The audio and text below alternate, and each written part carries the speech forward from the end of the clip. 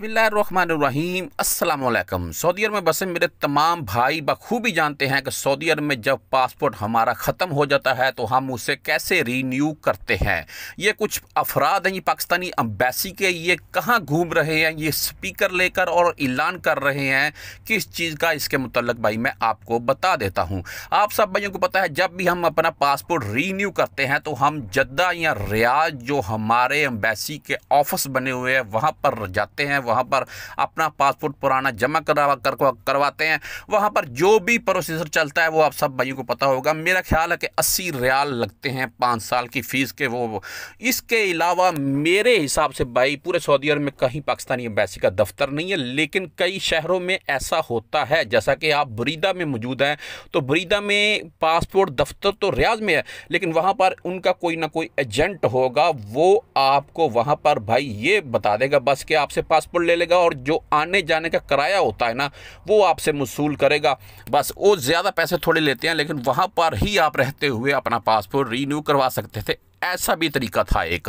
تو نہیں تو آپ کو جدہ اور ریاضی جانا پڑتا تھا پاسپورٹ رینیو کرنے کے لیے، لیکن ابھی اس وائرس کے چلتے ہوئے پاکستانی امبیسی نے بھائی یہ اعلان کیا ہے پاکستانیوں کی سہولت کے لیے۔ جیسا کہ آپ کو پتا ہے کہ ہزاروں کی تعداد میں اس وقت پاکستانی درخواستیں جمع کروا رہے ہیں۔ ابشر کے تھرو کہ ہماری چھٹی لگائی جائے، خروج لگوایا جائے، ہم پاکستان جانا چاہتے ہیں۔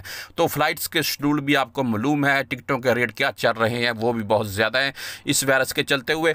تو اب بھی پاکستانی امبیسی کے افراد بائی ریاض سے یہ کام شروع کر دیا گیا ہے فی الحال اور الحمدللہ جلد ہی یہ سعودی عرب پورے میں یہ کام کیا جائے گا کہ کچھ افراد آپ دیکھ لیں، ایسی جگہوں پر گھوم رہے ہیں جہاں پر پاکستانیوں کی رہائشیں زیادہ ہیں، زیادہ پاکستانی رہتے ہیں، وہ اسی کمپنی مسسہ شرکہ وغیرہ میں ہو سکتے ہیں۔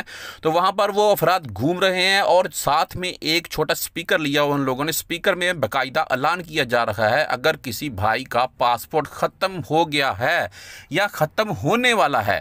وہ اپنا پاسپورٹ رینیو کروا سکتا ہے تاکہ اسے ایمرجنسی یا جیسا کہ ابھی لوگ جا رہے ہیں، جانے میں کوئی کسی قسم کی پرابلم پیش نہ آئے۔ آپ سب بھائیوں کو پتا ہے کہ جاتے وقت پاسپورٹ آدمی کا رینیو لازمی ہونا چاہیے، پھر ہی چھٹی وغیرہ لگتی ہے یا خروج وغیرہ۔ اگر پاسپورٹ ختم ہو تو پھر تو کچھ بھی نہیں ہوتا ہے۔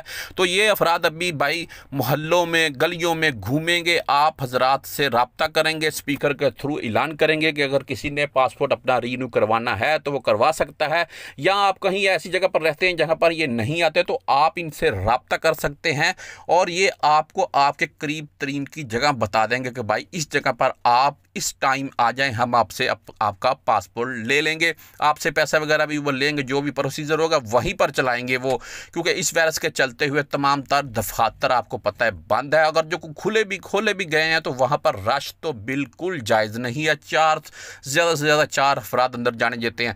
تو اگر چار چار بائی کر کے وہ لے کے جائیں گے اندر تو پھر تو رش کی ادھر لائنیں لگ جائیں گی۔ اس لیے ان لوگوں نے یہ سہولت متعارف کروائی ہے کہ گلیوں محلوں میں بڑے شہروں کی جائیں پاکستانی امبیسی والے اور وہاں پر اعلان کریں اگر کسی کا پاسپورٹ کسی نے رینیو کروانا ہے تو وہ اپنا پاسپورٹ رینیو کروا سکتا ہے۔ پیسے وہی لگیں گے بھائی آپ کے جو پہلے لگتے تھے۔ اس میں کسی قسم کا اضافی ٹیکس وغیرہ یا چارج نہیں لیا جائے گا۔